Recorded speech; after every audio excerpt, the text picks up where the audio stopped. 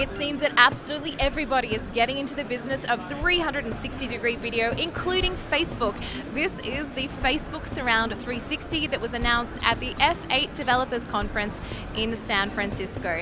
Now, this flying saucer like camera has 17 cameras built in.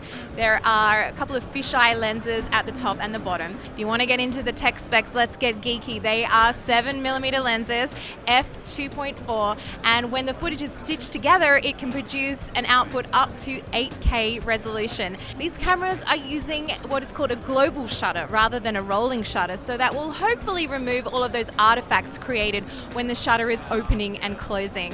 All of this camera technology does not come cheap. However, Facebook is not actually getting into the camera business. They're going to make all of this open source available on GitHub for people to play around with. If you wanted to put this entire kit together, it costs around $30,000.